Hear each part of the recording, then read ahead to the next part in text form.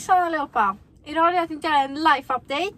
Jag sitter här i min bil på en vanlig Coop-parkering som ni ser i bakgrunden. Reklam för Coop. Hashtag not sponsored. Nej men ja. Det roligaste kanske hade varit om jag gjorde någon mukbang eller något men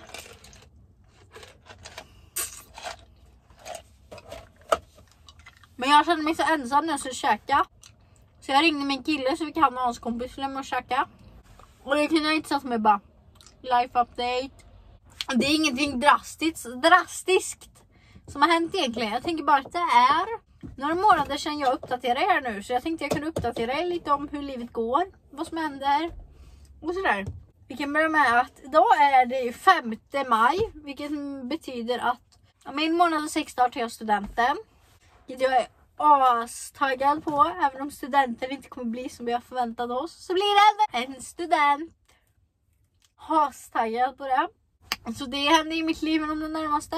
I och med studenten så kommer ni få mina 30 sista dagar i skolan. Min eh, en studentvlogg.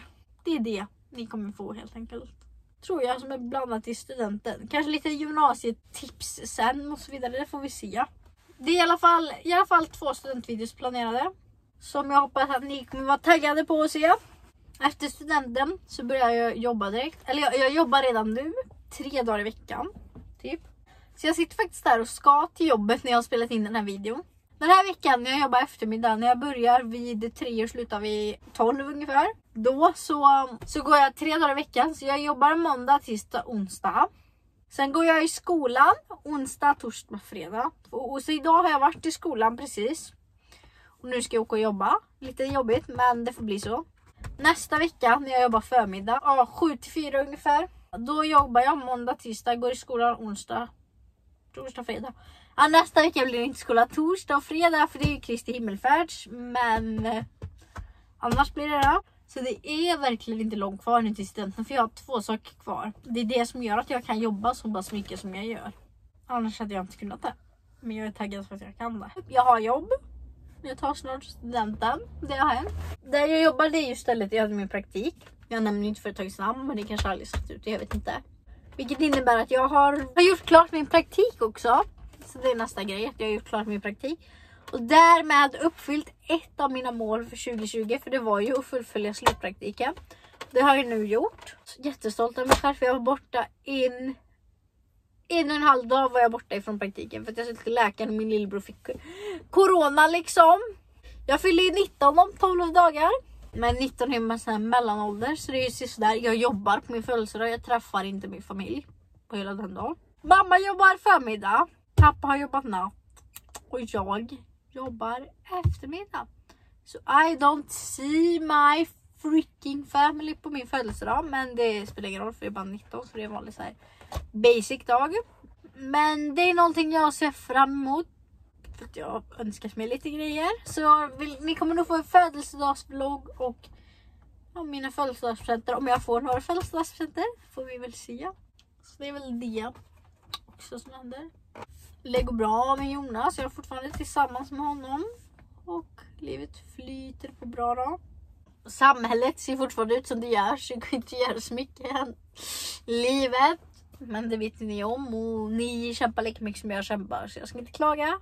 Om man ska diskutera hur jag mår hyfsat generellt så mår jag faktiskt jävligt bra ändå. Jag är liksom taggad på livet nu för att snart kommer studenten. Jag är liksom taggad på det. Allt som komma skall. Jag mår faktiskt väldigt bra just nu skulle jag säga. Sen är det klart att man får sina dippdagar. När man mår skit vissa dagar. Men det är bara att kämpa på och fortsätta att kämpa. Ge inte upp för i helvete i en säck alltså. Ge inte upp alltså, kämpa. Det gör vi tillsammans allihopa. För livet är bra. Jag har börjat försöka se saker positivt. Så varje gång de säger någonting jag bara, men vänder inte något positivt liksom. Nej men vad ska man säga mer om livet? Jag vet inte. Livet rullar på bra, jag är glad. Nej men så det var en liten life update i väntans tider här nu när jag sitter och väntar både på att åka och jobba. På att ta studenten! Oh, jävlar. Triggervarning för er som hade hörlurar. Kanske man skulle ha sagt innan men jag säger det i den här skedet. Första gången någonsin har Felicia Lindborg typ ingenting att klaga på. Det enda är väl att det tar så jävla lång tid inför saken idag. Jag går så jävla långsamt. Den här, den här videon, alltså ni kommer se en life update. Men sen kommer ni få en del två med saker ni inte får se i den här.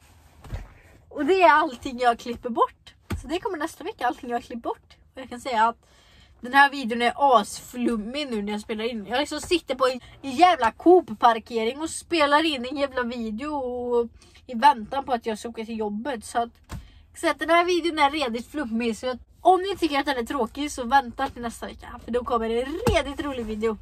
Så vill jag säga, en video med saker ni inte får se. En video där jag fucking skämmer ut mig så det är bara bloopers, bloopers, bloopers hela tiden. Jag vet inte, jag har inte så mycket mer att säga så tryck på gilla markeringen om ni uppskattar videon och glöm inte bort att prenumerera så får ni ha det bra så hörs vi i nästa video. Hejdå!